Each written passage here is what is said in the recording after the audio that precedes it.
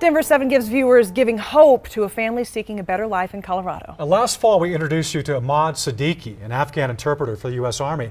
Back then, our generous viewers helped his family secure permanent housing. And tonight, as Denver 7 CB Cotton shows us, with the rest of the money you've helped raise, the family now has a new sense of freedom.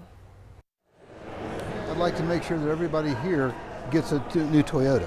So you get a Toyota, so it's not just your mom. Two families chasing one common goal. They don't have to rely on anybody. It's really going to mean freedom. And it all started with Ahmad Siddiqi, an Afghan interpreter taking the first brave step to leave Afghanistan and bring his wife and children with him. We're just so proud of them. Broomfield City Councilwoman Heidi Hinkle and her husband Scott have helped along the way, and now our generous Denver 7 viewers have helped again. On behalf of Denver 7 Gives, we want to present you with this check for half of the car's cost, and the dealership is picking up the other half.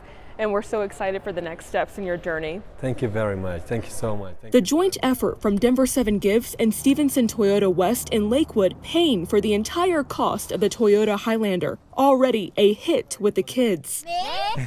but especially with Ahmad and his wife Oria, Oria is learning to drive and will use the car with their four children. They can now go to soccer practice, go to softball practice, go grocery shopping, and go to the Denver Zoo. We're so grateful to the Denver 7 and the Stevinson Toyota for this generosity and help. For Ahmad, this car is part of a new sense of independence, one he's always longed for. The father served alongside Scott Hinkle and other American service members for years, doing various missions, all the while dreaming he would one day reunite with his comrades in the States. Thanks for everything you've done for the 19 years in assisting our country. Try to assist your country. Now, the Siddiqi family is here with the Hinkle family, together in a place with all the freedoms they could dream of.